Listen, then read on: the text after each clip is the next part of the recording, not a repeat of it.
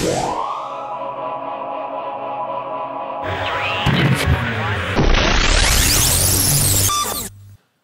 this video is intended to teach the Kodiak Life Protection System's seizing, trapping, and locking principles. We want to talk about the difference between seizing, trapping, and locking, and how we define those within Kodiak Life Protection Systems. Maybe different in other, group, other systems, but how we define them when we're teaching techniques.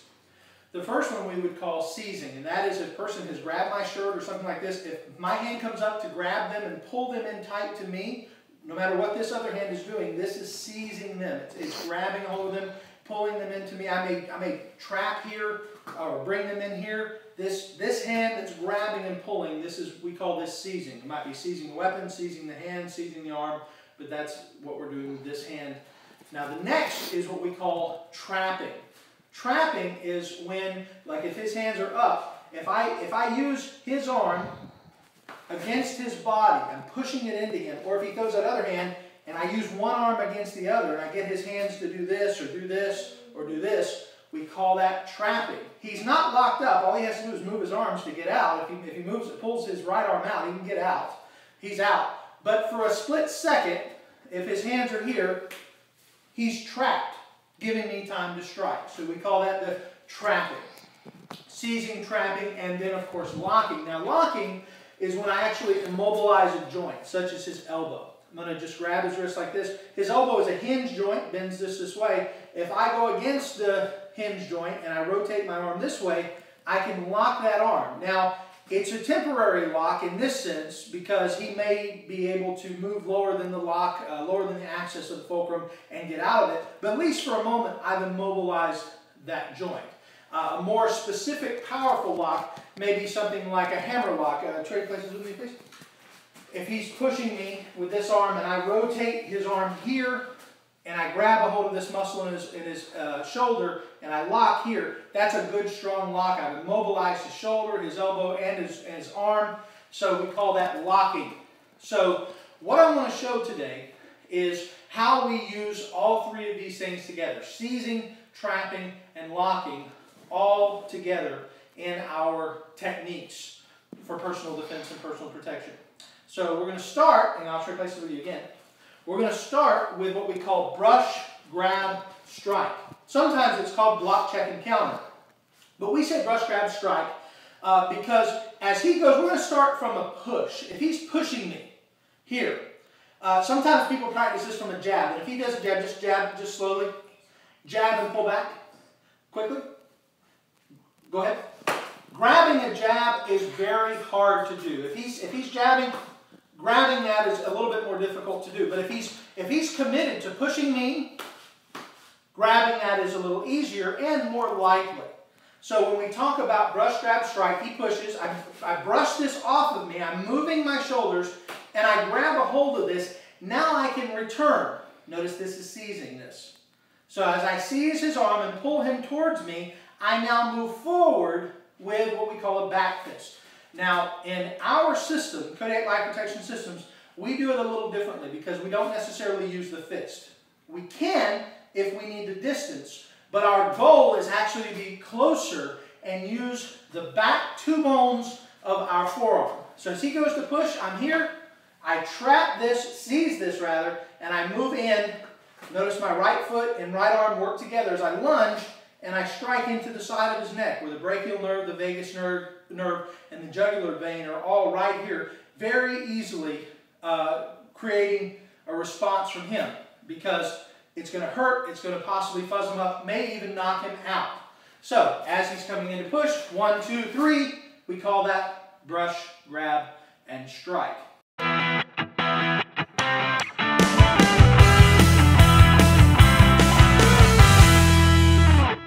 Notice also when I do this back fist technique, again, the foot position is very important. If my left foot's forward and I try to do a back fist, well, I'm, I'm all kind of incorrect with the way my body mechanics are because I'm not getting the proper hip rotation on this back fist. I need to have this hand forward.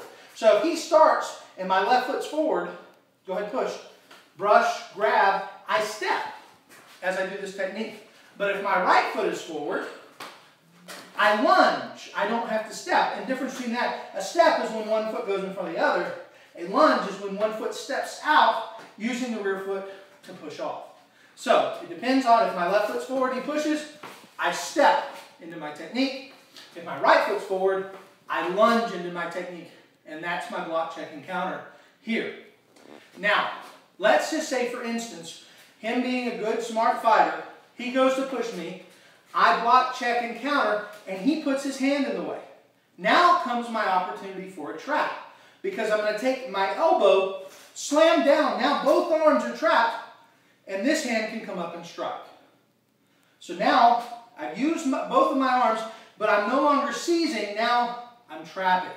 So again, he pushes, block, check, counter. This hand's in the way. I slam these hands down, and this hand comes out, and it strikes. Just like this. Or, if this strikes and doesn't do the job, I retrap, and the other hand can come out like this. And without a partner, it looks very simple. It, my hands are here. One, two, three, four, five. And it looks just like that. So that's just a little drill that I can do without a partner. Just rotating. There's the brush. Grab, strike. He, he blocked, so I come over the top. Here's back fist. Here's the second trap and a back fist. I can roll these techniques into each other. It's sort of like a kata for this technique. One, two, three, four, five. And there's my using the seizing and the trapping together.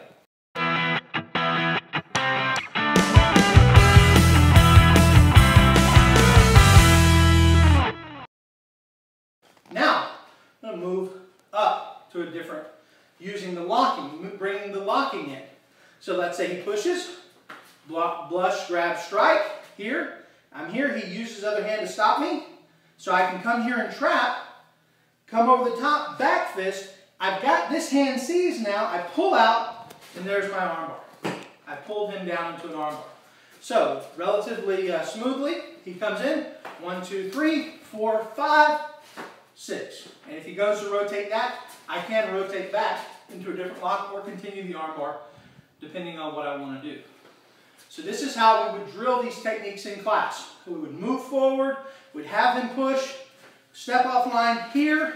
If that hand comes up, elbow over the top, back fist, and there's my armbar. So there's just a simple way of putting together seizing, trapping, and locking.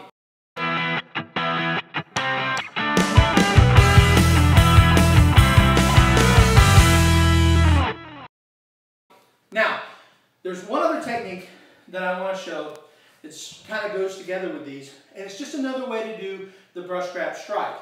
This time, instead of a push to the chest, I want him to think about he's going to punch straight into my nose. At this time, I'm actually going to go to the outside. He's going to try to go through my head like he's really punching. So he's here, and I'm, again, brushing this out of the way. This hand, as he comes in, we call this brush trap strike because I'm not so much grabbing here. I'm going to trap this and drive into his head. And it's very relatively quick. As he comes in, I don't want to fight, and then I'm right inside here. Again, I don't want to fight, man. I don't want to. I don't want any problems. And my hand comes in like that. It's a little different because if you notice on the brush grab strike push, I'm on the inside. On this technique, I'm on the outside. But they're using essentially the same body mechanics. My hands is working, the straight punch here. My hands are working in conjunction with the other. When one hand is trapping or blocking, the other hand is trapping, and then this hand is shooting. I'm not reaching way back to get my punches because I don't need to. I'm using proper body mechanics to throw my weight forward. So as he comes in, I'm stepping, moving in, and there's my strike, just like that.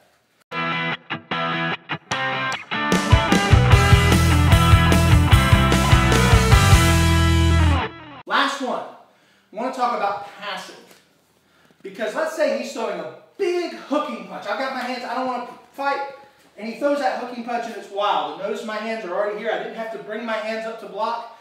In fact, this motion is an instinctual reactionary motion. So as he comes up, I don't want to fight. He's here. Now, I could stay in here and throw a knee, or I could stay in here and fight.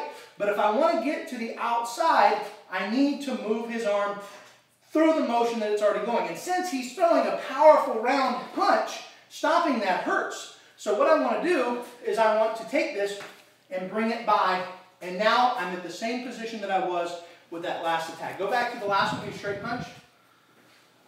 See where I'm at here? I'm on the outside. I'm in a good range. I can hit him in the ear. I can hit him in the pressure points. I can hit him in the side of the neck. I can hit him in the face. I'm on a good position because I'm on the outside. Being on the inside, I leave myself open to that other hand. So when he throws his punch, if I want to be on the outside, I put myself on the outside and strike. Doing the same essential final technique. Straight punch, hooking punch. And here, I'm in the same position I was when I finished the second technique as I did when I finished the first technique. I'm ending up on the outside of his arm, which is where I want to be, because I want to be in a position where I have all of the advantage and his advantage is very limited. And that's what has happened. If he does a straight punch, I'm on the outside and I'm good. If he throws a hooking punch, and I'm on the outside and I'm in the same position, all of the advantage.